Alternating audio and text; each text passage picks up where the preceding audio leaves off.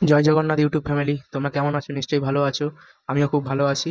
তো আজ আমরা শুনব জগন্নাথ মহাপুর আরও একটি কথা গীতা পাণ্ডা। তো চলো শুরু করি, জয় জগন্নাথ। ও যদ্দারু ব্রহ্মমূর্তি প্রণবতনুধরম সর্ববেদান্তসারম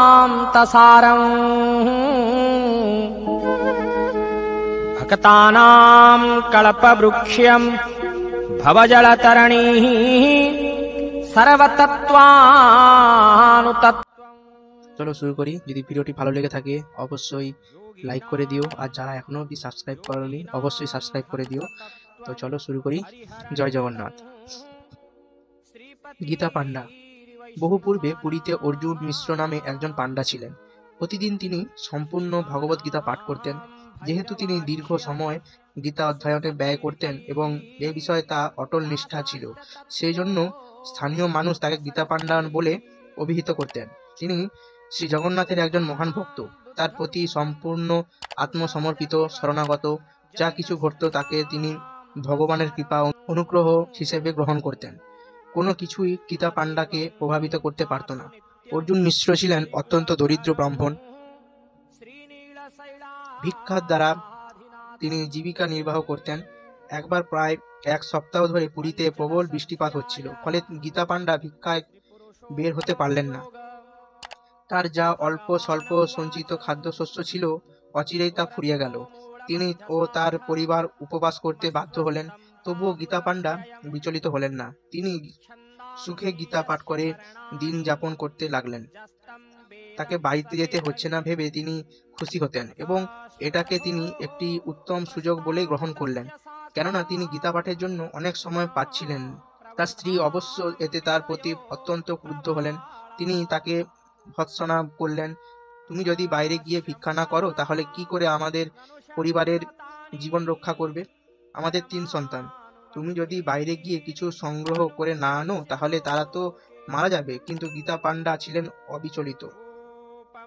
তিনি ভগবত গীতা থেকে তাকে একটি শ্লোক দেখালেন। অনন্য চিত্তে আমার চিন্তায় মগ্ন হয়ে যারা আমার উপাসনা করেন, আমি তাদের সমস্ত অভাব পূর্ণ করি এবং তাদের প্রাপ্ত বস্ত্র সংরক্ষণ করি। কিন্তু তার স্বামীর এহেন আচরণে মিশ্র গৃহিণীর রাগ আরও বাড়ল। কয়েকদিন তিনি পরীক্ষা করলেন, কিন্তু তার প্রতিদেব কিছুই নিয়ে আসলেন না। কেবল তিনি বলতে থাকলেন, আমরা যদি কেবল ভগবানের উপর নির্ভর করি, তাহলে তিনি সবকিছুই তত্ত্বাবধান করবেন বলে স্বয়ং তিনি বলেছেন। কতদিন তাকে এভাবে প্রতীক্ষা করতে হবে? মিশ্র গৃহিণী ভেবে পাচ্ছিলেন না। ছেলেমেয়েরা আহার্যের অভাবে খুবই ক্ষুধার্ত হয়ে পড়ল। মিশ্রের স্ত্রী অত্যন্ত ক্রোধাগ্নি হল। তার পতির হাত থেকে ভগবত গীতা নিয়ে তিনি ওই শ্লোকটি যেখানে উদ- উদ্ধৃত করা হয়েছিল, সেখানে বের করলেন এবং শ্লোকের উপর দিয়ে তিনটি রেখা টেনে শ্লোক, শ্লোকটি কাটলেন। পরবর্তীতে ক্ষুধায় অবসন্ন হয়ে তিনি ও তার সন্তানেরা নিদ্রামগ্ন হলেন। মিশ্র বিশ্রাম গ্রহণ করলেন। কিছুক্ষণ পর মিশ্রজির স্ত্রী দরজার করাঘাতের শব্দ শুনতে পেলেন। তিনি শয্যা ত্যাগ করে দরজা খুললেন। দুজন অত্যন্ত সুন্দর বালক সেখানে দাঁড়িয়েছিলেন আর তারা তাদের সঙ্গে আহার্য প্রস্তুত করার জন্য খাদ্যোপকরণ বহন করে নিয়ে এসেছিল। ব্রাহ্মণী এই সুন্দর দুই বালককে দেখে অত্যন্ত বিস্মিত হলেন।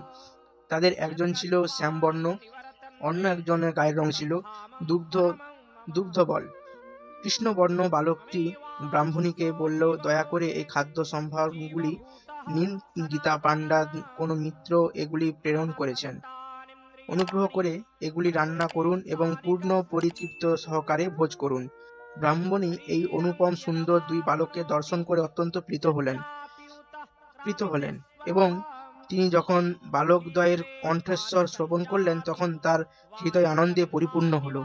তিনি তাদের প্রতি গভীর স্নেহ প্রীতি অনুভব করলেন। তিনি তাদের আহার্য প্রস্তুত করার পর্যন্ত অপেক্ষা করতেও তাদের সঙ্গে ভোজন করতে অনুরোধ করলেন। কিন্তু বালকটি উত্তর দিলেন হ্যাঁ আপনি ও আপনার স্ত্রীর সাথে প্রসাদ গ্রহণ গ্রহণের জন্য আমাদের প্রবল ইচ্ছা ছিল। আমার জিহ্বা কেটে দেওয়া হয়েছে। সেই জন্য আমি কিছুই আহার করতে পারছি না। এ কথা বলে বালক দুটি বিদায় নিল। গীতা পান্ডা অর্জুন মিশ্রের স্ত্রী, সমস্ত ভোজদ্রব্যগুলি ঘরে রেখে তাদের সৌভাগ্যের কথা তার স্বামীকে বলতে লাগলেন। যখন গীতা পান্ডা এসে সমগ্র ঘর ভর্তি বহুবিধ খাদ্য উপকরণ খাদ্য উপকরণ দেখলেন, তখন তিনি তার স্ত্রীকে জিজ্ঞেস করলেন, তুমি কি ওই বালক দুটিকে ভোজন করিয়েছ? আশা করি তুমি তাদের এই দয়ার প্রতিবাদ কিছু প্রসাদ তাদের ভোজন করিয়েছ। তার স্ত্রী উত্তর দিলেন, আমি তাদেরকে প্রতীক্ষা করে কিছু ভোজন করতে বললাম। কিন্তু কৃষ্ণবর্ণ বালকটি বলল যে, কেউ তার জিহার তিনটি স্থান কেটে ক্ষত করে দিয়েছে। সেই জন্য সে কিছুই খেতে পারছে না। অর্জুন মিশ্র যখন এ কথা শুনলেন, তিনি তৎক্ষণাৎ বুঝতে পারলেন যে, ওই কৃষ্ণ বালক ভগবান স্বয়ং ব্যতীত অন্য কেউ নয়। যেহেতু তার স্ত্রী শ্লোকটি তিনবার কেটেছিল, সেই জন্য ভগবানের শ্রীমুখ থেকে নিঃসৃত হওয়া ওই শব্দগুলি খণ্ডিত রূপ তার জিহায় প্রতিবিম্বিত হয়েছে। মিশ্র গৃহিণী উপলব্ধি করতে পারলেন যে তিনি তার অনন্যচিত ভক্তদের প্রতিপালন করবেন যে প্রতিশ্রুতি দিয়েছেন, সেটি সত্যতা প্রমাণ করতে তিনি তার প্রিয় ভক্তের জন্য স্বয়ং ভোজ্যদ্রব্য বহন করে এনেছেন। অবিলম্বে ব্রাহ্মণ পাণ্ডা ও তার স্ত্রী কৃপা পরায়ণ শ্রী জগন্নাথের নিকটে ক্ষমা প্রার্থনা করা এবং তাদের প্রতি তার করুণা ও অনুগ্রহের জন্য তাদের ধন্যবাদ জ্ঞাপনের উদ্দেশ্যে জগন্নাথ মন্দিরে যাওয়ার জন্য প্রস্তুত হলেন। তারা যখন ভগবানের বেদির সামনে গেলেন, তারা সবিস্ময়ে শ্রী জগন্নাথের অধরে তিনটি দাগ লক্ষ্য করলেন। জয় জগন্নাথ।